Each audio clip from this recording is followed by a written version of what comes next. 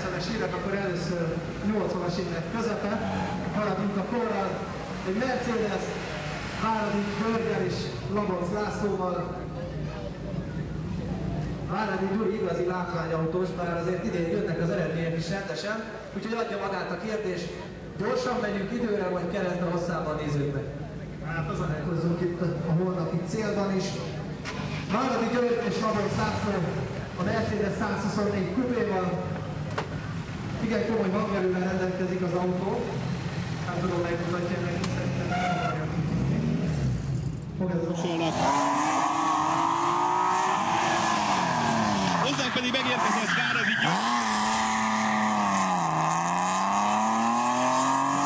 Elég komoly hanggal.